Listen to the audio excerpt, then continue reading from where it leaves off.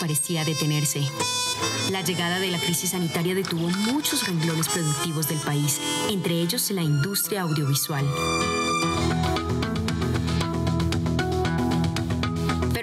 Los problemas nacen las grandes ideas. La Asociación Colombiana de Actores, el Ministerio de Tecnologías de la Información y las Comunicaciones y Canal 13 desarrollaron un proyecto que invitó a todos los que hacen parte de la cadena de producción del gremio audiovisual y nació Grandes Historias con Pequeñas Cámaras y estoy muy feliz de poderles decir que este año vamos por más. Abrimos la convocatoria para que nuevas 300 historias producidas por personas naturales desde cualquier dispositivo como celulares puedan ser financiadas en este 2021.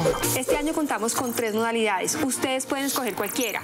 Unitario, un corto máximo de 6 minutos, series de dos capítulos, cada capítulo de 6 minutos máximo, o series de tres capítulos, cada capítulo de seis minutos máximo. Este programa se suma al fortalecimiento del sector audiovisual para que 300 historias más puedan ser producidas con una inversión de 3.600 millones de pesos en este 2021. Y ahí estaban, comiendo pasto lo más de tranquilas.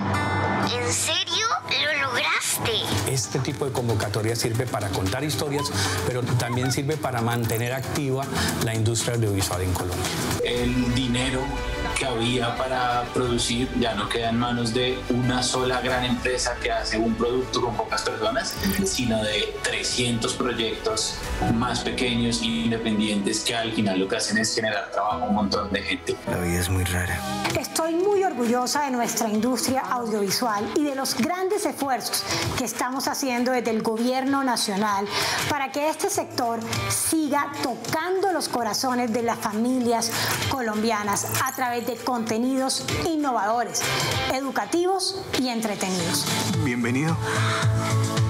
Motas El Salvador.